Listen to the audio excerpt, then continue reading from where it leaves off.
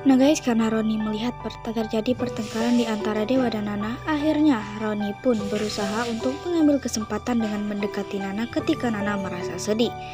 Nah guys, namun kira-kira apakah ini sebenarnya hanyalah mimpi dan hayalan Roni atau mungkin ini adalah kenyataannya? Kira-kira apa ya guys yang akan terjadi?